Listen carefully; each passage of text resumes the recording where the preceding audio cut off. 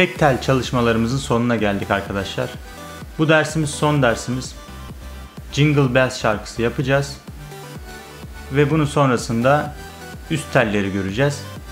Üst telleri gördükten sonra da baş parmağı ve yüzük parmağı artık işe dahil etmeye başlayacağız. Baş parmak ve yüzük parmak dahil olunca da gitarı daha polifonik şekilde çalmış olacağız arkadaşlar. Ve daha zengin bir duyum elde edeceksiniz. Gerçekten gitar çaldığınızı hissedeceksiniz. Evet, kolay gelsin başlayalım. Şarkımız yine dört dörtlük arkadaşlar. Sonda bir döneç var. Bu baştan biliyorsunuz tekrar çalacağımızı gösteriyor. 16 adet ölçümüz var. Önce ben bir çalıyorum sonra öğreniyoruz.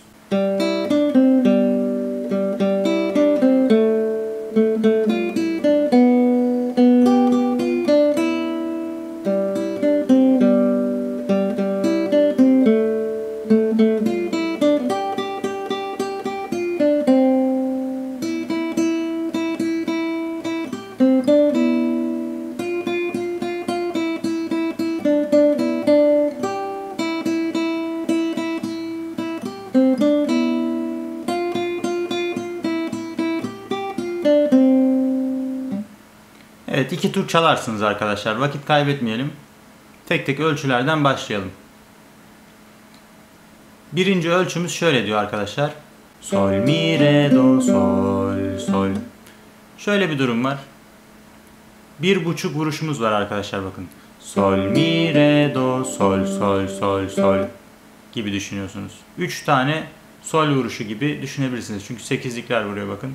Sol, mi, re, do, sol, sol. İkinci ölçüde şöyle. Sol, mi, re, do, la, la.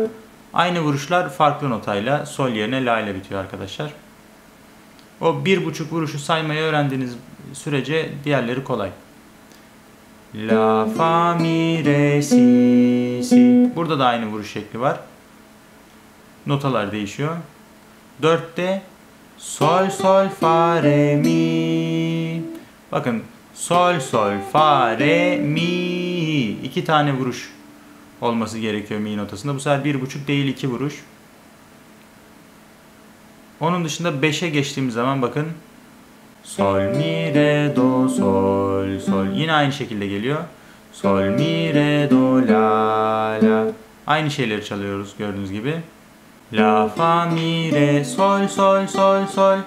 4 adet 8'lik notamız var solümüz.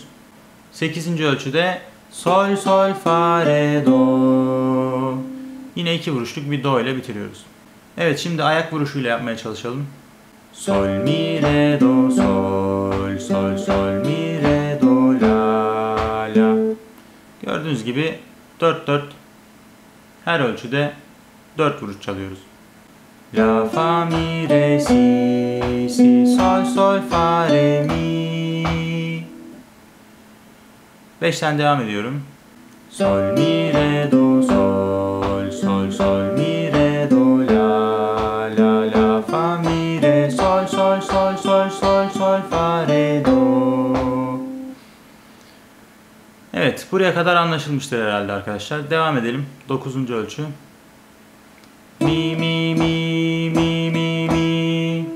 Gördüğünüz gibi yine 4 vuruşu 2 8'lik, 1 4'lük, 2 8'lik, 1 4'lük şeklinde çalıyoruz. 10. ölçüde mi sol do re mi ayak vuruşuyla mi sol do re mi yine sonda iki vuruşumuz var. 4'e tamamlıyoruz. Bakın 11. ölçüde 8'lik notalar var. 2 4 6 8. 8 tane 8'lik nota. Fa fa fa fa fa mi mi mi. Bakın 5 tane fa 3 tane mi şeklinde bölünüyor. Fa fa fa fa fa mi mi mi. 12. ölçüde mi re re mi re sol. Bakın. Mi re re mi re sol. Üçüncü parmağınıza sole geçiyorsunuz. Mi re re mi re sol. 13. ölçü. Mi mi mi mi mi mi. Yine aynı şekilde. Mi sol do re mi. İkilik notamızı çaldık. Fa fa fa fa fa mi mi mi. Aynı şekilde arkadaşlar. 5 fa 3 mi şeklinde dağılıyor. Fa fa fa fa fa mi mi mi sol sol fa re do. Sonda yine ikilik do'muzu vuruyoruz ve bitiriyoruz. Evet ayak vuruşuyla bir daha bir çalalım.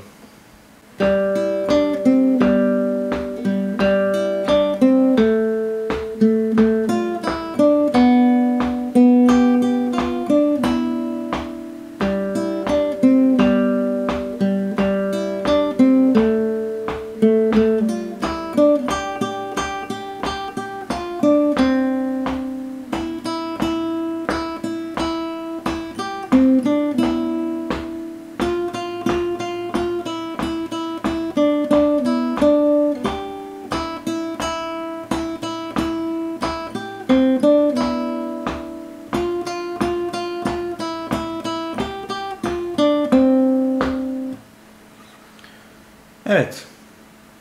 Umarım siz de benimle beraber çaldıysanız buraya kadarki egzersizleri tamamlamış oldunuz arkadaşlar.